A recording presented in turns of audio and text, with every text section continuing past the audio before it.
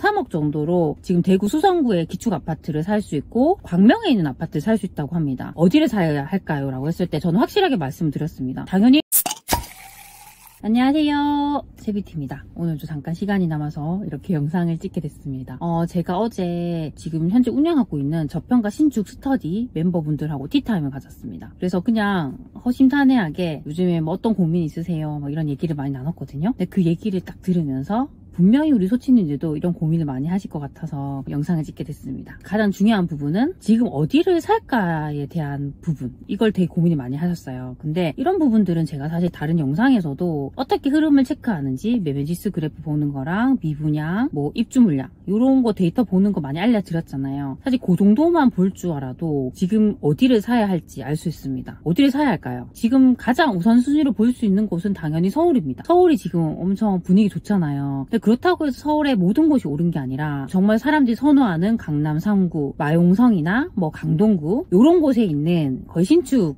단지들이 많이 올랐죠. 오늘 이제 뉴스를 보다 보니까 신축이 갑자기 많이 오르다 보니까 이제는 거기 근처에 있는 구축, 구축이 너무 저렴하니까 구축을 사람들이 사기 시작했다라는 기사가 있더라고요. 결국에는 사람들은 뭔가 조금 저평가된 걸 찾고 싶어 해요. 아무리 좋은 곳이라도 비싸면 안 살려고 하겠죠. 약간 그런 흐름들이 보입니다. 그래도 아직 그런 측면을 본다고 하면 서울은 살 곳이 너무 많죠. 아직까지 2급지 이하인 곳들은 거의 오르지도 못했잖아요. 그리고 조금 더 확대를 한다면 지금 경기도 같은 곳들 뭐 수원, 용인, 하남, 아니면 구리, 남양주, 광명 정말 우리가 선택할 수 있는 곳들이 많습니다. 근데 그게 우리가 그 매매지수 그래프를 보면요. 그게 딱 예전에 서울이 반등하기 직전의 모습과 정말 많이 닮아 있습니다. 수원 같은 곳들은 이미 매매, 전세 지수 다 반등하고 있지만 그렇지 않은 곳들은 그래도 뭐 매매가 정체되어 있다 하더라도 전세가의 반등이 빠르게 일어나고 있죠. 그럼 전세가의 반등이 빠르게 일어나는 곳들은 지금 현재의 서울의 모습처럼 전세가 매매를 끌어올려서 같이 반등하는 모습으로 갈 가능성이 크겠죠. 근데 그것에 있어서 가장 중요한 건 리스크예요. 리스크를 했을 때 우리는 미분양이 정말 중요하겠죠. 그럼 그런 곳에 미분양이 많은가? 이런 것들만 보셔도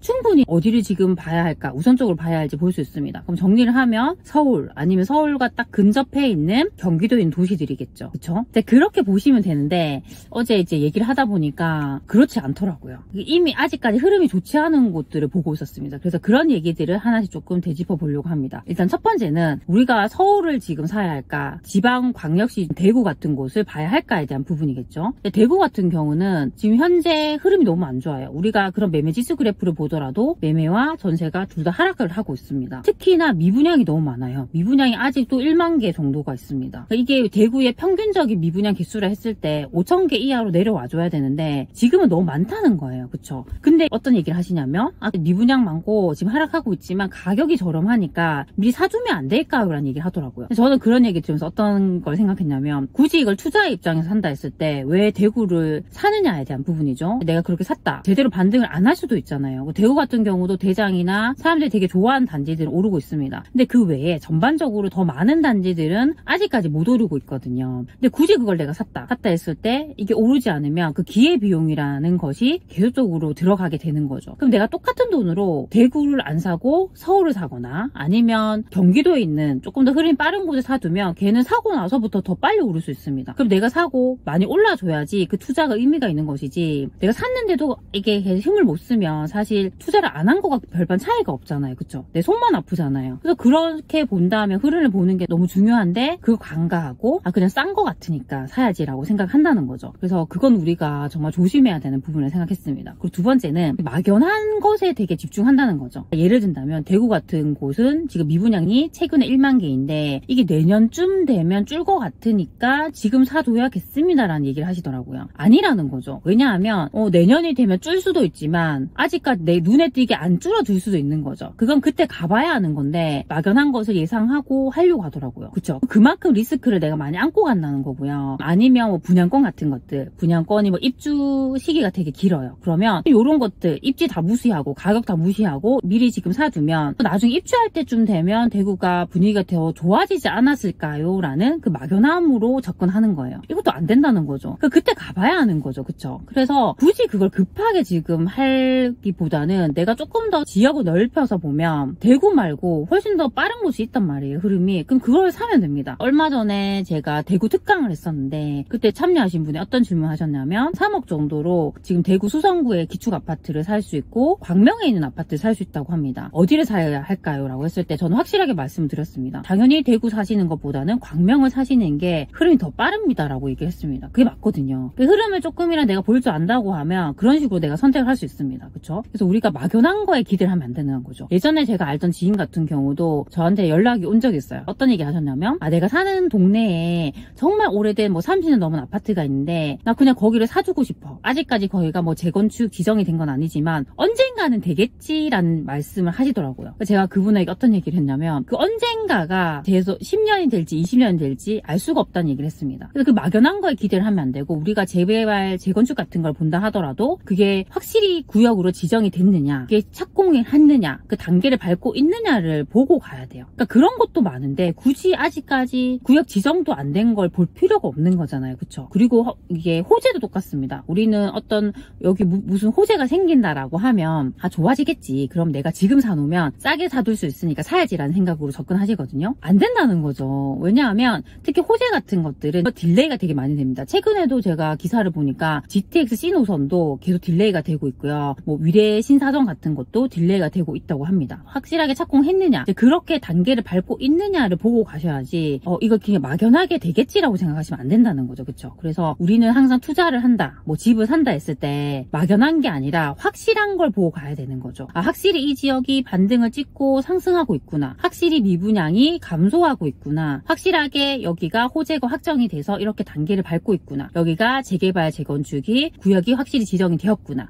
그렇게 보고 가셔야 된다는 거예요. 그쵸? 그래서 너무 조급해 하지 마시고, 너무 막연하게 투자하지 마시고요. 좀 확실하게, 명확하게 해 나가셨으면 좋겠습니다. 그리고 세 번째로 말씀을 드리고 싶은 것은, 나를 혹사시키지 말라는 거예요. 어제도 제가 그분들과 얘기를 하면서 느꼈던 게 뭐냐면, 특히 임장을 하는 부분에 있어서, 거의 아침부터 저녁까지 걸어서 몇만 보, 뭐 3만 보 이상을 걸으면서 임장한다는 얘기를 들었어요. 처음에는 이제 그렇게 참여를 해서 임장을 했는데, 이게 계속 반복이 되다 보니까, 체력이 지치고, 내가 이 렇게 이 무더운 날 이렇게 몇만 보를 걷다가는 내가 분명히 응급실에 실려갈 것 같다라는 생각이 드셨다고 하더라고요. 근데 우리가 그런 데서 쉽사리 빠져나올 수 없는 게 어떤 그룹이 지어지잖아요. 그러면 누군가는 그걸 너무너무 잘해내요. 근데 나는 그걸 못하는 거예요. 그러면 어떤 감정이 드냐면 나 실패자야. 나 이런 것도 못하고 나 너무 실패자야. 그런 감정에 휩싸이는 거예요. 그래서 아, 나는 이렇게 임장도 제대로 못하기 때문에 나는 투자를 포기해야 돼. 이건 나랑 맞지 않아라는 생각을 한다는 거죠. 그것도 아니라는 거죠. 그- 그게 저도 임장을 하지만 제가 계속 임장 브이로그 같은 거 올려드리잖아요. 저를 보시면 제가 렌트를 해서 이렇게 운전을 해서 가서 현장을 걸어 다닐 때도 있고 저는 너무 무더운 여름 같은 경우는 에어컨도 정말 빵빵하게 틀고 저는 차로 이렇게 임장을 합니다. 그냥 전체적인 분위기를 보는 거죠. 그리고 또 날씨가 좋거나 좀 괜찮을 때는 제 체력이 된다 했을 때는 걸어서 임장을 합니다. 근데 그, 그때도 제가 그 지역을 전체를 걷는 건 아니고요. 중간에 너무 다리가 아프면 택시를 탈 때도 있고요. 아니면 지하철을 타고 이동할 때도 있습니다. 그때그때 저에게 맞게 하는 거죠. 이게 무조건 우리가 걸어서 임장을 해야지 나는 찐 투자자야. 이건 아니에요. 가장 중요한 건 나의 건강이 너무 중요한 거고 내가 그렇게 나를 혹사시켜가지고 제대로 못 걸어 다닐 정도가 된다고 하면 이거 계속 이어나갈 수가 없습니다. 그러니까 투자라는 것이 우리가 뭐 단기간 하고 끝낼 게 아니잖아요. 저는 투자는 평생 해야 된다고 생각하는 사람이기 때문에 그럴수록 내 몸을 아껴야 되는 거예요. 그리고 어, 그런 거 영향을 받을 필요 없습니다. 우리가 비교할 필요도 없고 그 사람과 나는 체력도 다르고 실력도 다르고 다른 거예요. 그 다름을 인정을 해야 되고 나에게 맞게 그냥 가시면 됩니다. 그래서 또 그런 거에서 저는 벗어나셨으면 좋겠고 결국에는 우리가 그럴 때 가장 중요한 게 뭐냐면 내가 왜 투자를 하는지 그 목적을 생각해야 돼요. 왜 나 투자를 시작하려고 했지? 근데 대부분의 경우엔 그거예요. 나 조금이라도 잘 살고 싶어서 나는 조금이라도 내가 돈 걱정 덜 하면서 우리 가족이 행복하게 살고 싶어서라는 거예요. 내가 행복하려고 하는 투자인데 나를 괴롭히면 안 되잖아요. 근데 이게 정말 나 내가 재밌게 임장할 수 있는 방법도 되게 많거든요. 저는 임장을 지금까지 계속 해오면서 한 번도 힘들다고 생각했던 적이 없습니다. 항상 임장을 갈 때는 너무너무 신나고 설레고 너무너무 즐겁고 다녀와서 너무 뿌듯하고 항상 그런 감정이 많이 들거든요. 그렇게 하셨으면 좋겠어요. 그리고 굳이 내가 그렇게 임장 갔다 와서 임장 보고서 잘 쓸 필요 없잖아요. 그 형 식적인 거잖아요. 내가 그거 잘 쓴다고 해서 누가 인정해주는 거 아니잖아요. 그냥 내가 알 수 있는 용도로 간단하게 정리를 해도 됩니다. 그쵸? 그래서 너무 그런 거에